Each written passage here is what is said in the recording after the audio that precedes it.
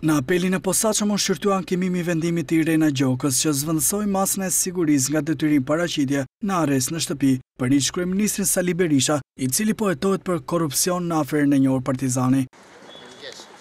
Dy avokatët mbrojtës Genc Gjokutaj dhe Sokol Mëngjezi parashtruan pretendimet e tyre para gjyqtares Iliriana Olldashi për konflikt interesi nga gjyqtarja e shkallës së parë, Irena Gjoka. Gjithashtu vendimi që e lë Berishën në arrest shtëpiak u mor pa u shqyrtuar kërkesa për përjashtimin e Gjokës nga trupa gjykuese. Ne e presim vendimin, vendimi që për të mos e administruar sot dosjen e përjashtimit të gjyqtares Irena Gjoka është një shkelje shumë e rëndë e kësaj gjykate, Gjykatës së Apelit. Gjithsesi ne do presim nesër në orën nëntë kur është shpallja e vendimit. Berisha ka dërguar një tjetër ankimim në gjykatë, për lejimin e tij të marrë pjesë në seancat plenare në Parlament. Avokati Gjokutaj njoftoi edhe ditën e shqyrtimit të kësaj kërkese.